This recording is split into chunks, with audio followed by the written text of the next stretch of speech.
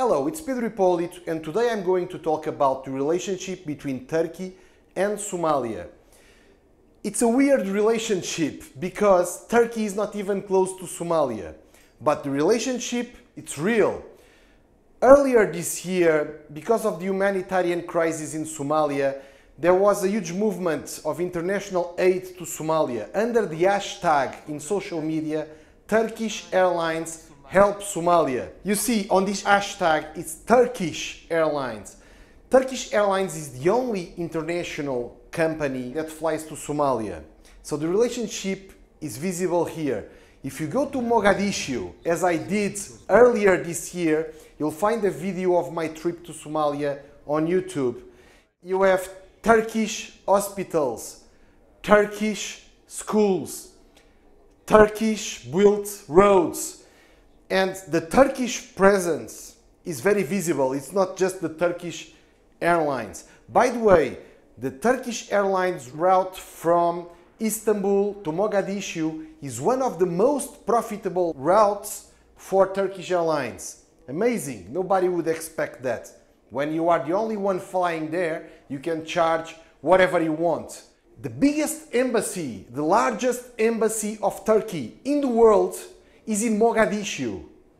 You see, it's not in Washington, it's not in Paris, it's not in China, it's in Mogadishu, the largest Turkish embassy in the world. Turkey is building now a massive military compound in Somalia. So you see, Turkey is investing heavily in one of the poorest and most dangerous countries in the world.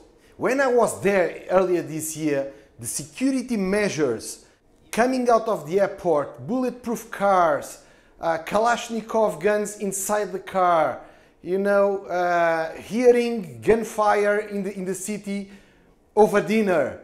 The security problems are real, but Turkey doesn't care if Somalia is poor, if security there is almost non-existent, Turkey is investing. The question is why? Because there is concept of first mover advantage. When you select a target that other people are not paying attention to, you gain advantage. You gain influence if you move fast. And this is what African countries offer. And of course, it's easier to capture influence in Somalia than it is in Nigeria or in South Africa or in Egypt. So moving into Somalia with hospitals, with schools, with roads, with huge embassy, with new military base, Turkey is creating a strong partnership and each of these things, the schools, the hospitals, the highways, the military base, are built by Turkish companies. This creates jobs for Turkish people. Um, the, uh, the airline that flies there, the, the crew, the crew, it's, Tur it's, it's Turkish crew. So you see, this creates jobs and the influence they get in the country creates opportunities for Turkish companies. So there is a concept of first mover advantage and second, there is a concept of relevancy. Turkey can be very extremely relevant and influential in Somalia if they combine the same investments and do these investments in France, it doesn't move the needle. Nobody cares. But if they do it in Somalia, they become the most influential country there. So this applies for countries' investments and this applies also for companies' move. If you try to position your company in New York, nobody cares.